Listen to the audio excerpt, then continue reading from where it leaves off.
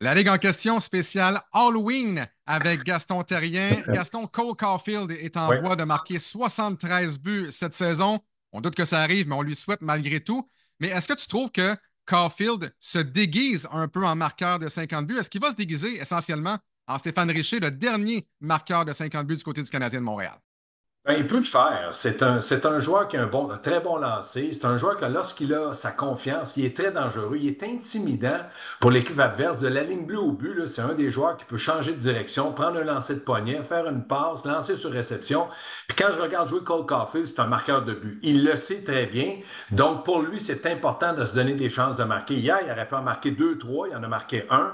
Donc pour ma part, je pense que dans le cas de Caulfield, c'est un élément important sur le trio de Suzuki. Puis là, dans le moment, c'est Kirby Dack qui joue avec eux. C'est cet homme, Gaston. Une autre que Stéphane Richer, comme je le mentionnais, deux Ouais. saisons de 50 buts avec le Canadien de Montréal.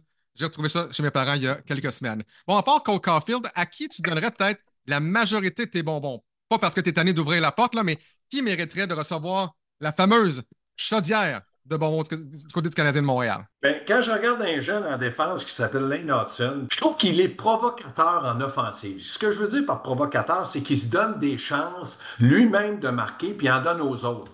Euh, je pense que dans le moment, la plupart des gens à Montréal, au Québec, puis même au Canada, sont peut-être un petit peu déçus parce qu'il n'a pas encore marqué ce fameux premier but. Hier, il était peut-être à 2-3 pouces de le marquer, il frappait un poteau.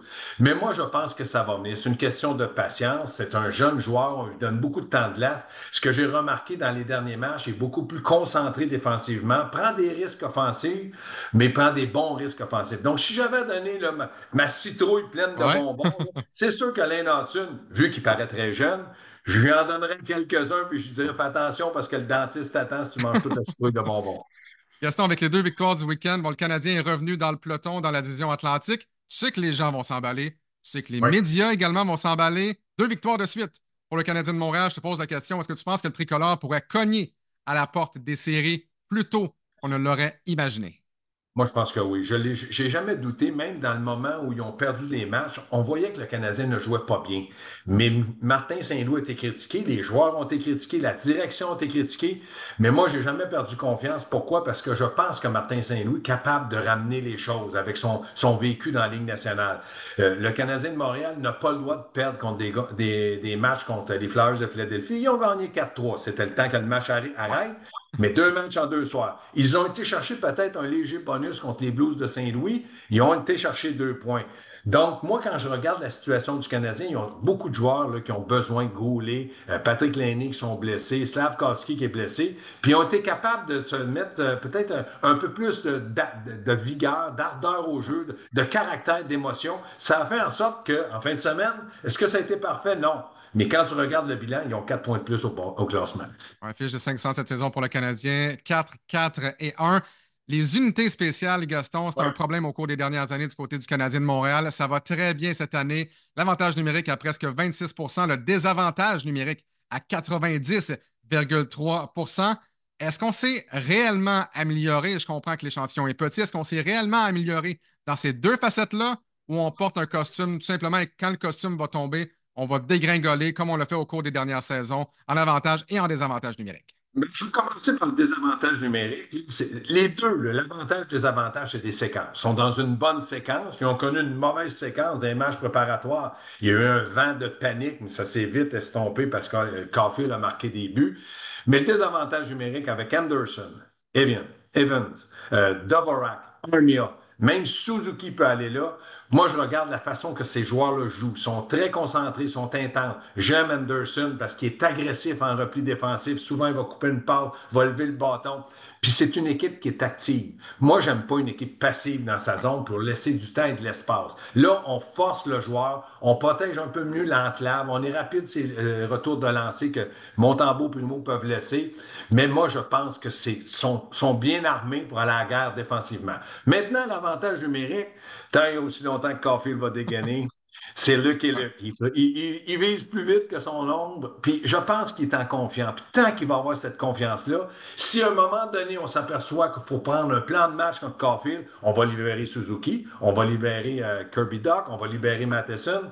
Mais moi, j'ai toujours dans ma tête Matheson, puis Lane, Lane Hudson comme défenseur. Pourquoi? C'est des maraudeurs. Rappelez-vous le temps que Markov était là, comment il était habile pour aller au fond de la zone, revenir, créer de l'espace.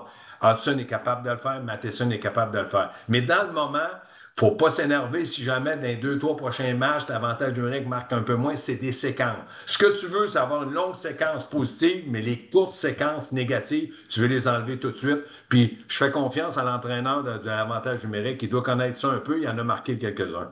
Question de rester dans la thématique Halloween, Gaston. Qu'est-ce qui t'effraie peut-être le plus en ce début de saison du Canadien? Ben, j'aimerais pas que le Canadien euh, perde un autre joueur blessé dans les deux premiers trios. Déjà, le deuxième trio est très hypothéqué, mais s'il fallait perdre un gars comme Caulfield ou Suzuki, on sait que Suzuki, les trois dernières années, il a joué les 82 matchs, on lui donne beaucoup de temps de glace, il est dur à son corps, c'est un gars qui prend beaucoup de repos, mais perdre un autre joueur d'importance ou perdre un Matheson ou un Montembeau, ça, ça m'effraie un peu. Gaston, tu parles de blessure à un joueur clé. Quand Slavkovski va revenir, Qu'est-ce qu'on fait avec Kirby Doc? Ça va très bien avec Suzuki et Caulfield. Est-ce que tu laisses Dak sur le premier trio? Ben, si jamais Dak continue à produire comme ça, on a toujours l'excuse de dire à Slavkovski, écoute, va prendre un peu ton rythme, ta fraction de seconde sur le deuxième trio. Puis si jamais Slavkovski, ça va pas bien, c'est certain qu'on va tout faire pour l'aider. La seule façon de l'aider, c'est l'avantage numérique, puis Caulfield Suzuki. Mais pourquoi qu'on pousserait pas Dak à droite, New au centre et trouver un ailier gauche pour ces deux-là. Peut-être que Dak a dit en début de saison, je suis un joueur de centre. On espérait qu'il soit bon aux deux endroits, mais là, peut-être c'est un ailier droit. Le temps de retrouver sa fameuse forme physique de match, ça peut prendre jusqu'à Noël. Donc, donnons-lui du temps, pas trop de pression, puis dans le moment, il a déjà fait un pas d'avant. On a vu Matvey Mishkov à l'œuvre du côté des Flyers de Philadelphie dimanche contre le Canadien de Montréal. Est-ce que la non-sélection de Mishkov, on a décidé d'y aller avec Renbacker, euh, va venir hanter le tricolore au cours des prochaines saisons? Ben, si jamais Mishkov marque 50 buts euh, cette année, l'an prochain ou dans l'avenir, c'est certain qu'on va penser à un joueur offensif. On en avait besoin. Mais moi, avant de critiquer Rand Backer, j'ai vu son camp des recrues euh, qu'il a fait avant de se blesser. Il a été très bon. Puis moi, ce que j'ai aimé, c'est que Ken Hughes a dit, écoutez, ça ne sera pas avant trois ans. Donc là, il ne faut pas mettre la charrue avant les bœufs. Il faut attendre. Ça ne fait pas trois ans. Il est blessé. Avant de le juger, il faut attendre ce que lui va te donner sa glace. Mais c'est sûr que Michikov, s'il continue comme ça à être spectaculaire, on va le manquer. Mais on ne pouvait pas avoir deux choix dans les cinq premiers. C'est impossible. Ça aurait coûté beaucoup trop cher à Kent Hughes de transiger. Du côté de Toronto maintenant, on a Craig Berube qui s'est mis à engueuler Austin Matthews au banc contre les Blues de Saint-Louis. Défaite contre les Bruins de Boston par la suite sur un revirement d'Austin Matthews. La saison est jeune, je comprends. Mais est-ce qu'on est en train de tourner un film d'horreur du côté des Maple Leafs de Toronto?